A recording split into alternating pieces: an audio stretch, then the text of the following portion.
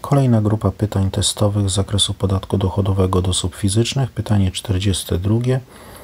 Zgodnie z ustawą o podatku dochodowym od osób fizycznych, zryczałtowany podatek dochodowy od dywidend i innych przychodów z tytułu udziału w zyskach osób prawnych pobiera się w wysokości artykuł 30a ustęp 1 punkt 4 od uzyskanych przychodów generalnie w przypadku dywidend pobiera się 19% zryczałtowany podatek dochodowy z dywidend właśnie w punkcie czwartym innych przychodów z tytułu udziału w zyskach osób prawnych. O tym, że jest to podatek od przychodu, a nie od dochodu, przekonuje e, ustęp szósty. Zryczałtowany podatek, o którym mowa m.in. w ustępie 1 punkcie czwartym właśnie pobiera się bez pomniejszenia przychodu o koszty uzyskania.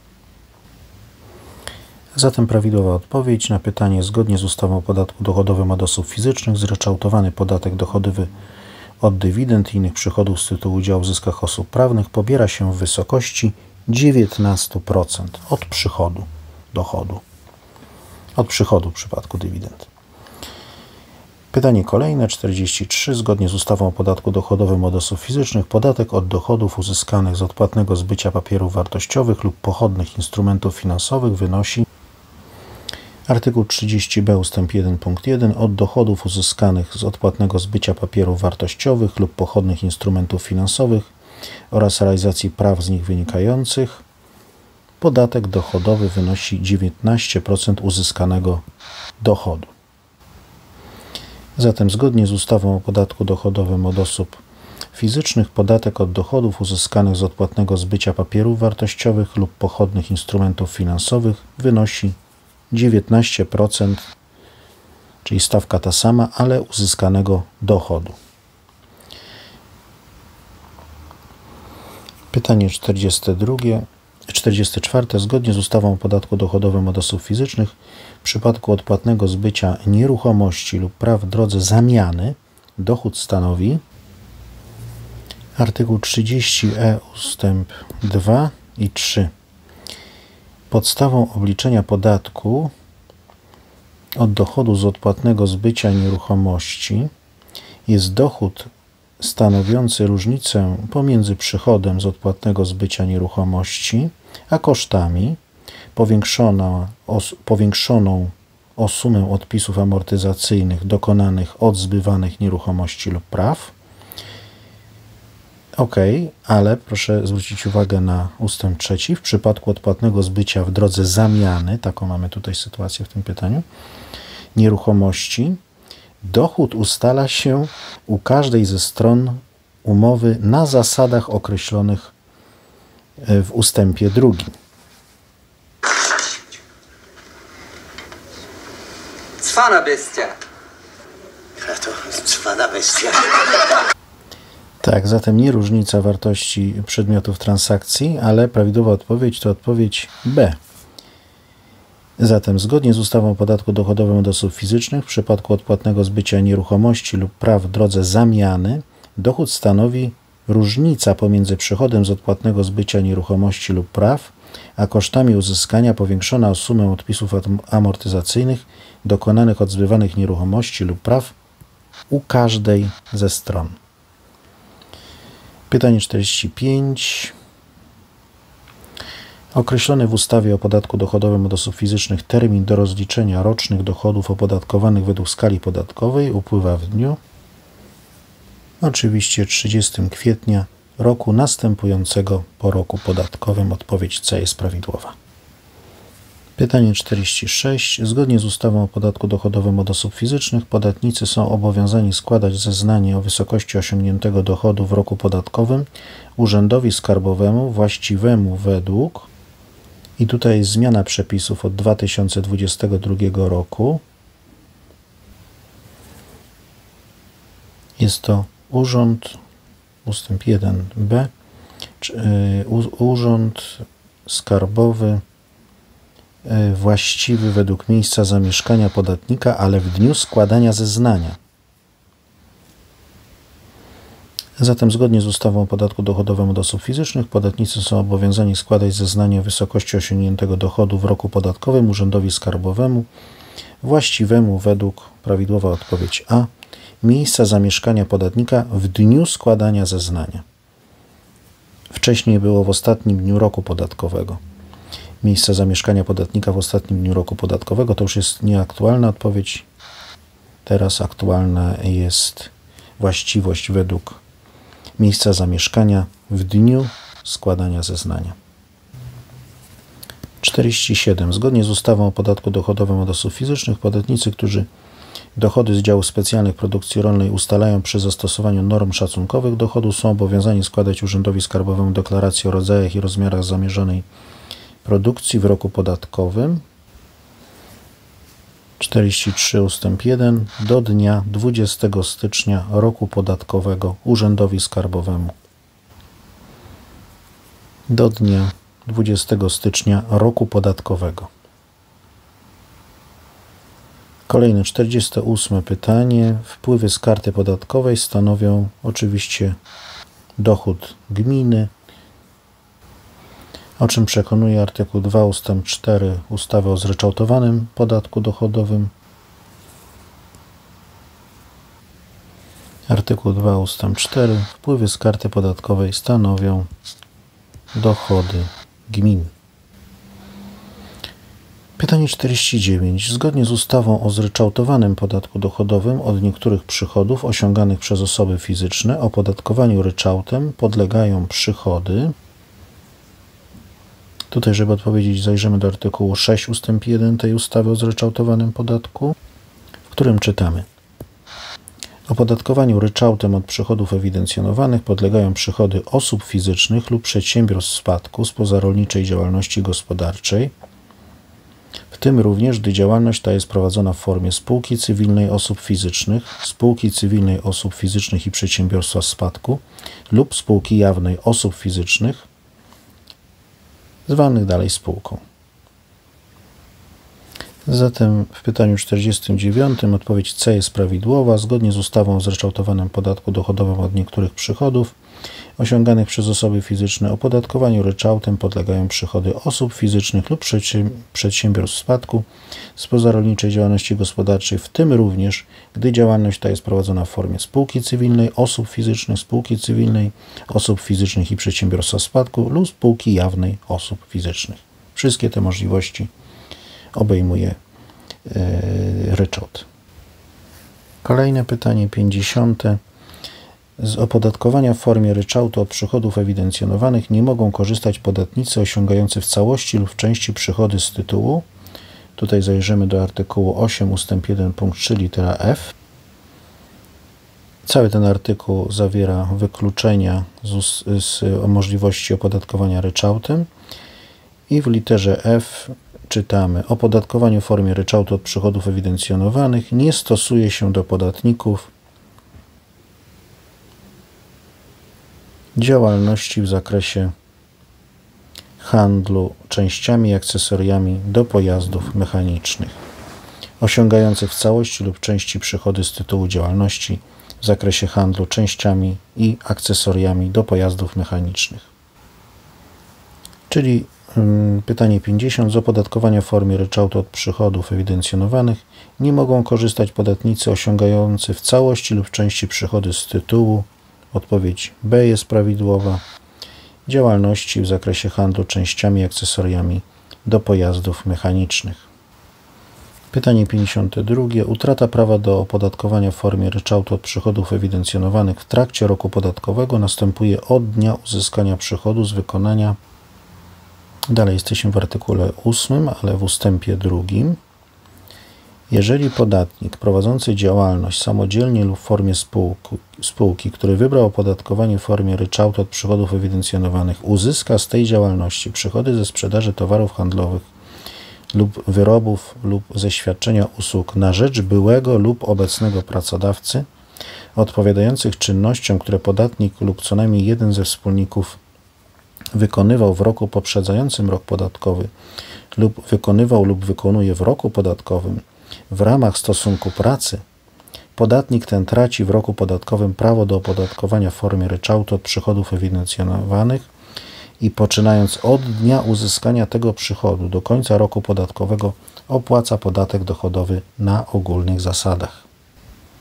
Czyli 51. Utrata prawa do opodatkowania w formie ryczałtu od przychodów ewidencjonowanych w trakcie roku podatkowego następuje od dnia uzyskania przychodu z wykonania usługi budowlanej na rzecz byłego lub obecnego pracodawcy. Odpowiedź A. 52. Z opodatkowania w formie ryczałtu od przychodów ewidencjonowanych nie mogą korzystać podatnicy. Wracamy do ustępu pierwszego artykułu 8. 8 ust- ustęp 1 punkt 3 litera C. Opodatkowania w formie ryczałtu od przychodów ewidencjonowanych nie stosuje się do podatników osiągających w całości lub w części przychody z tytułu działalności w zakresie kupna i sprzedaży wartości dewizowych. Dobra, jesteście mocniejsi. Mówcie, czego chcecie. Kulki? Des billes 300-400 kulek z pięknego agatu? Gumę do rzucia? Un Kilogram landrynek? Dam wam mój piękny złoty gwizdek. Więc czego chcecie? Dolarów. Czyli w 52 pytaniu z opodatkowania w formie ryczałtu od przychodów ewidencjonowanych nie mogą korzystać podatnicy prowadzący działalność w zakresie kupna i sprzedaży wartości dewizowych. Pytanie 53. Podatnik, który uzyska przychody ze świadczenia usług na rzecz byłego lub obecnego pracodawcy, traci prawo do ryczałtu od przychodów ewidencjonowanych. To już o tym była mowa w artykule 8 ust. 2. Prawidłowa odpowiedź A. Od dnia uzyskania przychodu z tego tytułu do końca roku podatkowego. 54. Oświadczenie o wyborze opodatkowania w formie ryczałtu od przychodów ewidencjonowanych za dany rok podatkowy. Podatnik składa naczelnikowi Urzędu Skarbowego. Właściwemu według miejsca zamieszkania nie później niż do dnia, do dnia. Artykuł 9 ustęp 1 do dnia 20 miesiąca następującego po miesiącu, w którym osiągnięto pierwszy przychód z tego tytułu w roku podatkowym, albo do końca roku podatkowego, jeżeli pierwszy taki przychód osiągnięto w grudniu roku podatkowego. Zatem w pytaniu 54 oświadczenie o wyborze opodatkowania w formie ryczałtu od przychodów ewidencjonowanych za dany rok podatkowy podatnik składa naczelnikowi Urzędu Skarbowego właściwemu według miejsca zamieszkania nie później niż, odpowiedź A jest prawidłowa, do 20 dnia miesiąca następującego po miesiącu, w którym podatnik osiągnął pierwszy przychód z tego tytułu w roku podatkowym albo do końca roku podatkowego, jeżeli pierwszy taki przychód osiągnął w grudniu roku podatkowego. 55. Podatnik traci prawo do opodatkowania w formie ryczałtu od przychodów ewidencjonowanych z dniem 8 ustęp 3 traci w roku podatkowym prawo do opodatkowania w formie ryczałtu z dniem uzyskania przychodów z tych tytułów zabronionych i od tego dnia opłaca podatek dochodowy na, na ogólnych zasadach. Więc w 55 podatnik traci prawo do opodatkowania w formie ryczałtu od przychodów ewidencjonowanych z dniem, odpowiedź A, uzyskania przychodów z tytułu prowadzenia działalności w zakresie kupna i sprzedaży wartości dewizowych z dniem uzyskania przychodów z tego tytułu. Pytanie 56. Zgodnie z ustawą o zryczałtowanym podatku dochodowym od niektórych przychodów osiąganych przez osoby fizyczne, podatnik uzyskując przychody opodatkowane różnymi stawkami, składkę na ubezpieczenie społeczne odlicza. Tu zajrzymy do artykułu 11 ust. 4. 11 ust. 3, nie 4, ust. 3. Jeżeli podatnik uzyskuje przychody opodatkowane różnymi stawkami i dokonuje odliczeń od przychodów, odliczeń tych dokonuje od każdego rodzaju przychodu w takim stosunku, w jakim w roku podatkowym pozostają poszczególne przychody opodatkowane różnymi stawkami w ogólnej kwocie przychodów.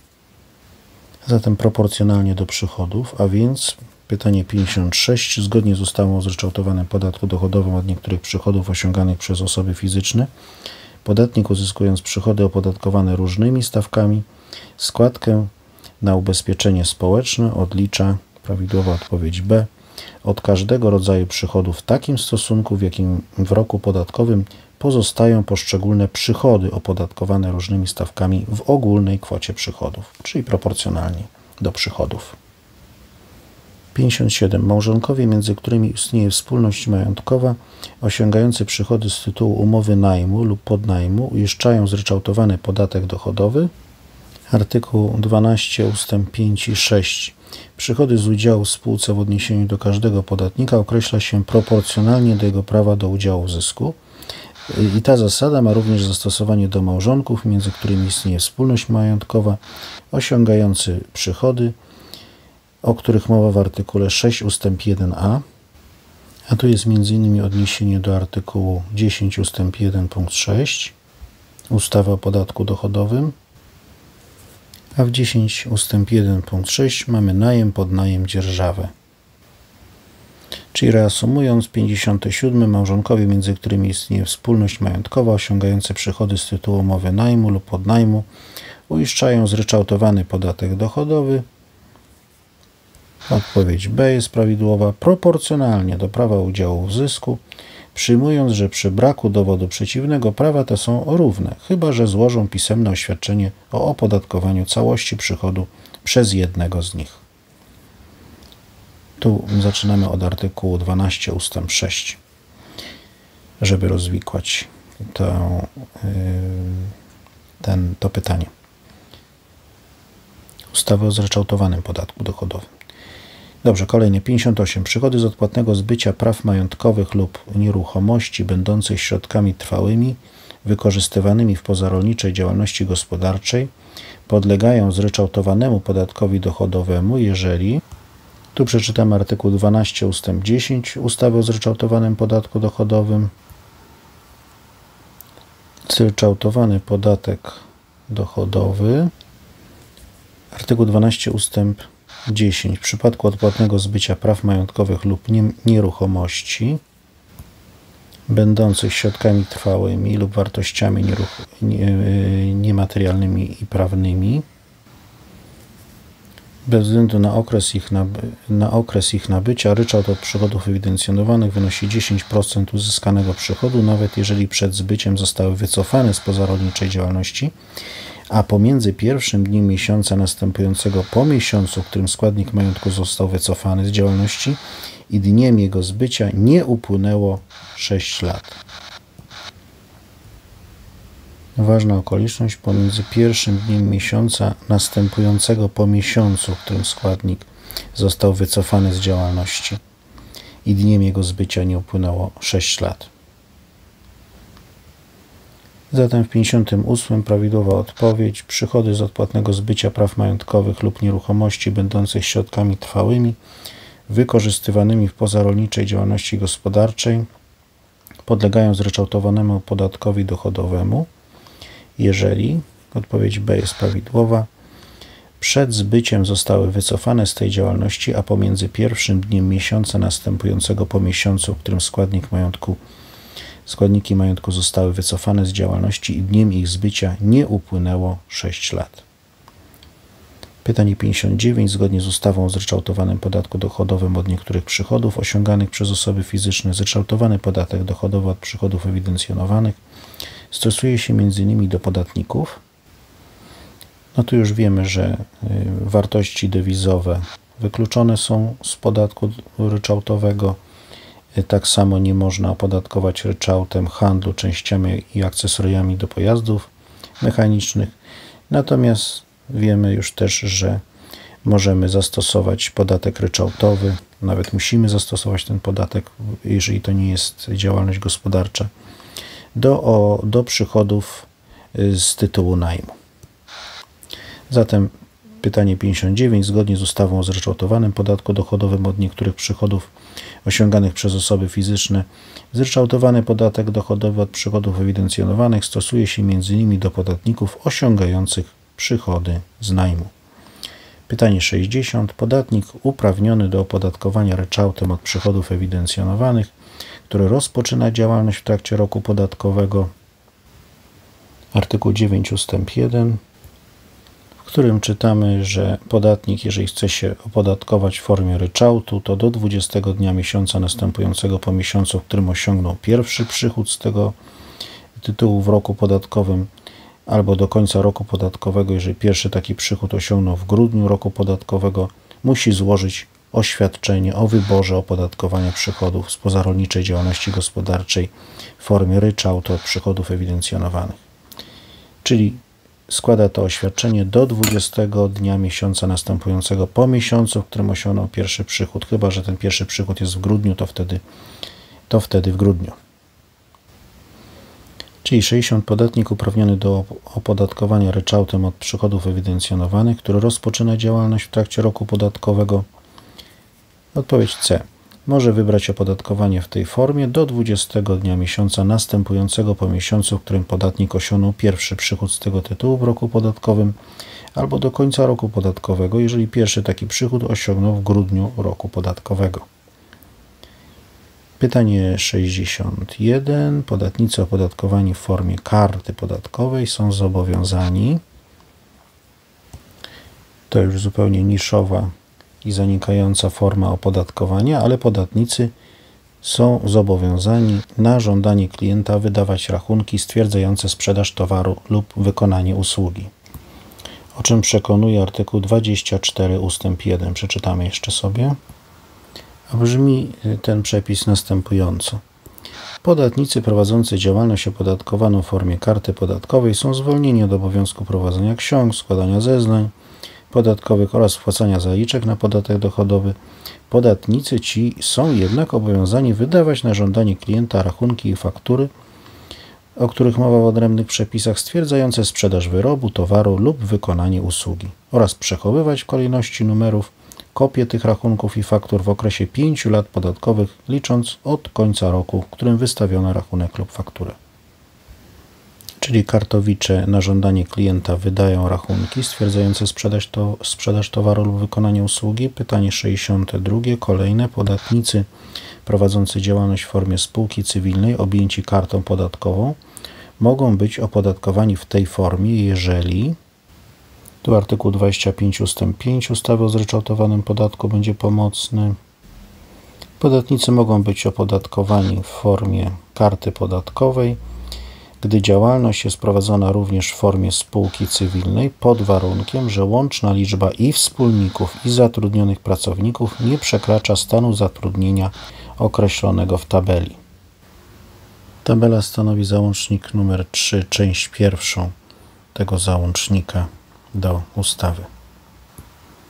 Zatem 62 podatnicy prowadzący działalność w formie spółki cywilnej objęci kartą podatkową mogą być opodatkowani w tej formie, jeżeli odpowiedź C jest prawidłowa, łączna liczba i wspólników i zatrudnionych pracowników nie przekracza limitu zatrudnienia określonego w ustawie dla danego rodzaju działalności. I dalej o karcie podatkowej pytanie 63. Podatnicy prowadzący działalność mogą być opodatkowani, w formie karty podatkowej, jeżeli artykuł 25 ust. 1 punkt 3 25 ust. 1 punkt 3 przy prowadzeniu działalności może od początku. Podatnicy prowadzący działalność podlegają opodatkowaniu w formie karty podatkowej, jeżeli przy prowadzeniu działalności nie korzystają z usług osób niezatrudnionych przez siebie na podstawie umowy o pracę oraz z usług innych przedsiębiorstw i zakładów, chyba że chodzi o usługi specjalistyczne. Zatem 63 podatnicy prowadzący działalność mogą być opodatkowani w formie karty podatkowej, jeżeli odpowiedź A przy prowadzeniu działalności nie korzystają z usług osób niezatrudnionych przez siebie na podstawie umowy o pracę oraz z usług innych przedsiębiorstw i zakładów, chyba że chodzi o usługi specjalistyczne. Odpowiedź A jest prawidłowa. Pytanie 64. Podatnik może zrzec się zastosowania opodatkowania w formie karty podatkowej w terminie wskazanym w artykule 32 ust. 1. Podatnik może zrzec się zastosowania opodatkowania w formie karty podatkowej w terminie 14 dni od dnia doręczenia decyzji ustalającej wysokość podatku dochodowego w formie karty podatkowej. Czyli 64 podatnik może zrzec się zastosowania opodatkowania w formie karty podatkowej w terminie prawidłowa odpowiedź A 14 dni od dnia doręczenia decyzji ustalającej wysokość karty podatkowej. Tę decyzję wydaje oczywiście naczelnik Urzędu Skarbowego.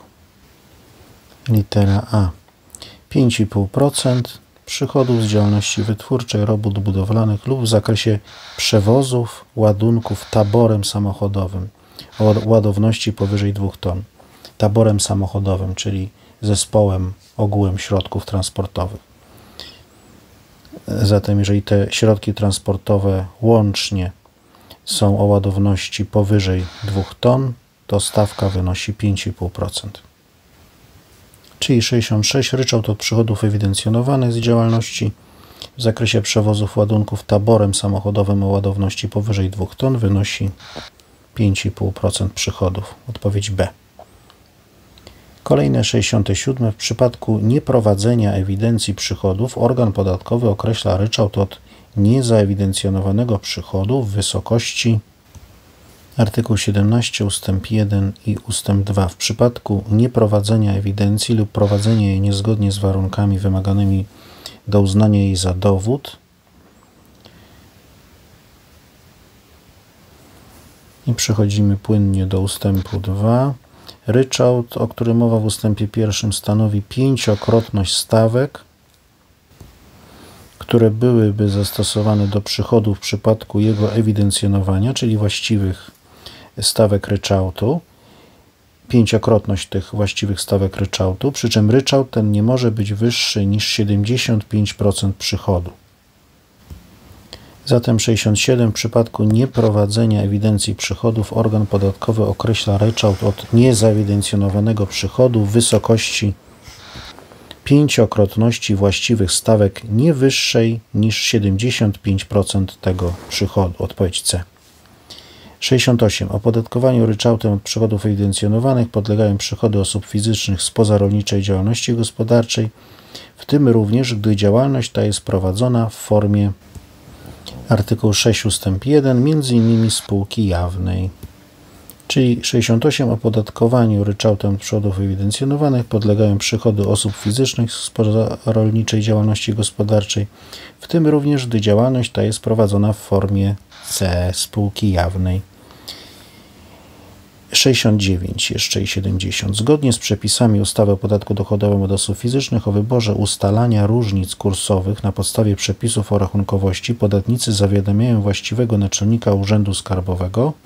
Tutaj oczywiście wracamy już do ustawy o podatku dochodowym od osób fizycznych. Do, yy, zajrzymy do artykułu 14b ustęp 4 z którego wynika, że o wyborze ustalania różnic kursowych na podstawie przepisów o rachunkowości podatnicy zawiadamiają o wyborze tej metody w zeznaniu rocznym składanym za rok podatkowy, w którym rozpoczęli stosowanie tej metody rozliczania różnic kursowych. Czyli 69 zgodnie z przepisami ustawy o podatku dochodowym od osób fizycznych o wyborze ustalania różnic kursowych na podstawie przepisów o rachunkowości podatnicy zawiadamiają właściwego naczelnika Urzędu Skarbowego Odpowiedź B jest prawidłowa w, zeznaniu składanym za rok podatkowy, w którym rozpoczęli stosowanie tej metody. Rozpoczęli jej stosowanie. I ostatnie na dzisiaj pytanie 70. Działalność badawczo-rozwojowa w rozumieniu przepisów o podatku dochodowym od osób fizycznych to działalność twórcza, obejmująca oprócz prac rozwojowych, tutaj zajrzymy, zajrzymy do słowniczka w, usta w ustawie o podatku dochodowym od osób fizycznych do artykułu 5 a ściślej do artykułu 5a punkt 38 i 39, gdzie czytamy Działalność badawczo-rozwojowa to działalność twórcza obejmująca badania naukowe lub prace rozwojowe, a badania naukowe zdefiniowane w punkcie 39 to badania podstawowe i badania aplikacyjne. Z tego jasno wynika, że w pytaniu 70 działalność badawczo-rozwojowa w rozumieniu przepisów o podatku dochodowym od osób fizycznych to działalność twórcza obejmująca oprócz prac rozwojowych również badania naukowe, podstawowe i aplikacyjne. Odpowiedź C jest prawidłowa. I na badaniach naukowych zakończymy tę grupę odpowiedzi. Dziękuję.